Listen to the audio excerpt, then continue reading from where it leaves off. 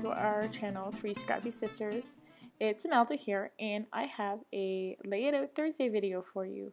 This is a 12 by 12 layout that I have created using the Felicity Jane Summer Kit, and I just quickly showed you there that I am also using the Stuck Sketches July 1st sketch.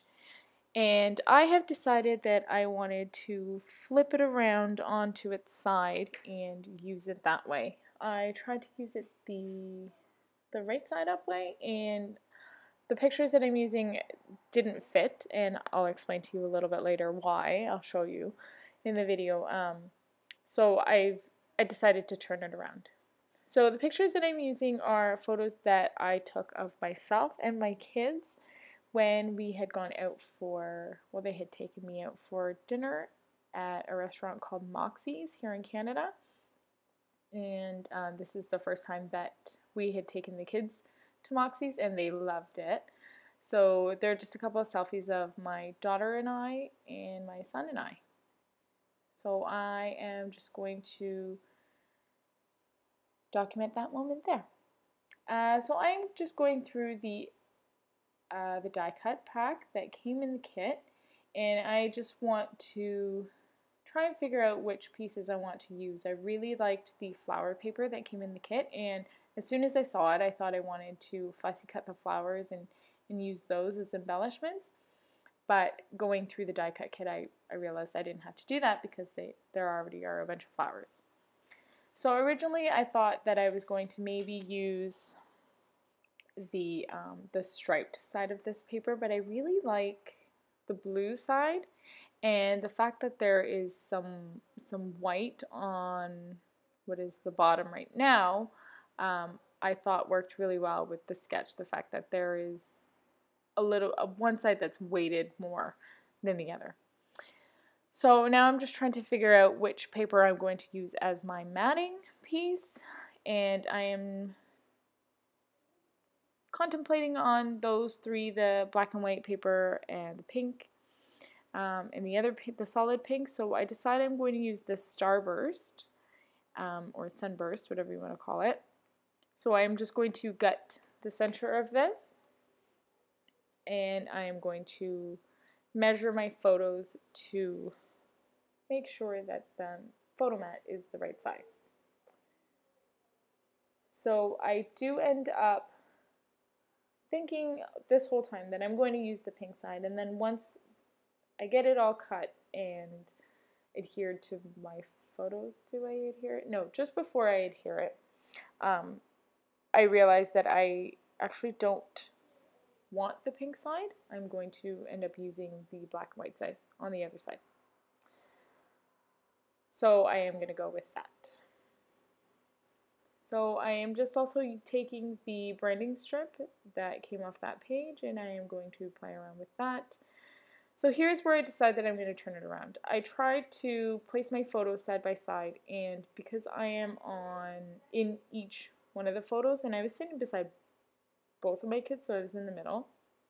The way that the photos came out I ended up being on opposite side of each photo. So when I line them up horizontally um, I end up being in the middle of both of them and I didn't really like that it kind of looks like there's a mirror and I'm reflected in both sides. So I didn't, I wanted to avoid that. So standing it up vertically worked a little bit better.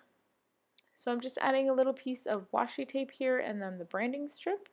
And this, all of these elements that I'm using came in the Felicity Jane summer kit. So, and it's just the main kit. I didn't buy anything extra. So you can easily replicate this if you'd like to. So I'm just using the alphas that came in the kit, and these are the Puffy alphas. They're really cute font, um, all caps, and they're basically just like a puffy sticker. So I'm going to use Happy Mother's Day as my title because this was this Mother's Day. And I'm just going to speed this up really quick just as I am getting all the letters together and I am just placing it on an extra sheet of acetate or the plastic that the alpha stickers come on just so that I can be sure that I am happy with my placement and make sure that it all fits. I find a lot of times I do end up, if well before. Before I did this I ended up sticking down the title and then having to pull things up and it's really annoying especially when you get alpha stickers that stick really well. So I found that this was a pretty good way of doing it. I tried doing it on like a ruler and then it just it didn't work. I found this is the, the easiest way. So I am just making sure that my photos are matted and I'm pretty much this is the way that the layout's going to end up other than some playing around with some of the die cuts. So I'm just going to use my T-square ruler to measure up um, the title and I'm going to adhere that. I just want to make sure that it's straight. I'm not really the best at eyeballing things that are supposed to be straight um, and getting it pretty straight on. I usually end up, especially writing, I end up going off, almost trailing off. Um, if I'm writing on the blackboard or the whiteboard at school, I just always, it always starts up off nicely and then it kind of goes up a little bit and gets smaller. So I wanted to make sure that I used my ruler here. So I'm going to bring my photos back and then I'm going to, oh, I'm going to pop them up on some foam because I do want some dimension. And then I am going to start playing around with the die cut pieces to make sure that they go where I want them to go. I've pulled out all of the flowers as well as a couple of the labels and I think it's the pink and the teal color which again is what I'm usually drawn to. So I am going to just adhere the photos, make sure that they are straight and then I'm going to go in with the embellishments. So I am going to end up cutting some of these flowers just so that it's kind of peeking through a little bit. Um, the yellow one especially was really big and I didn't really want it over the photo. I wanted it behind the photo. So I ended up cutting it only because I've already adhered the foam and the photo down.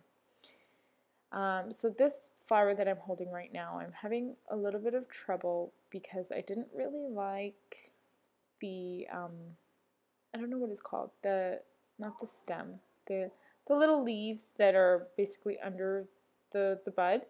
Um, so I was trying, just playing around with it to see if I could hide it some way or turn it around or figure out a different way to use it. But I ended up just placing it there. Some of it is still showing through, um, but I covered the part that I didn't like with, with that label. So I'm happy with that. So I'm just going to add a little bit of foam on the bottom part of it just to help support it because it is um, leading over the edge of the photo. And then I'm going to add the label. And then I'm going to work at the top and like I said before I'm just going to end up cutting this flower a little bit which ends up being a good decision because then I have a little piece that I can add to the bottom. So just to bring some of that yellow in to the bottom as well. So, yep. So I'm going to adhere it. And then I have a couple of the little flowers that I'm going to play around with, but I end up putting it in the middle between both of the the photos. So this one goes here at the top and then I have a couple other little ones that go in the middle there. So I like the way that that is looking, so I'm going to adhere that down. And that's about it. I'm just going to add the little mint tag as well as a little piece, yeah, that little piece of the flower. And then um, I am going to stamp on that pink label. Um, it says hashtag all the food uh, because again it was dinner time and the food was awesome. The kids really liked the dessert. They came out with um, some of the dry ice and they were really wowed by it. So it was, it was really fun. I should have taken a picture of that, but I didn't. It was it was a little dark. So this is about it. I'm just going to add some Heidi Swapp Color Shine in peach, and there I'm showing you that I've stamped it. So here comes the Shine and I'm adding it in peach, just a couple of ink splatters. And then I'm going to go in with some enamel dots. I'm going to add some white enamel dots as well as some mint. And that's basically the entire layout. So I want to say thank you so much for joining me today and I hope to see you again next week. Um, thank you so much to all of our new subscribers and the thumbs up and the comments and we'll see you again next time. Bye!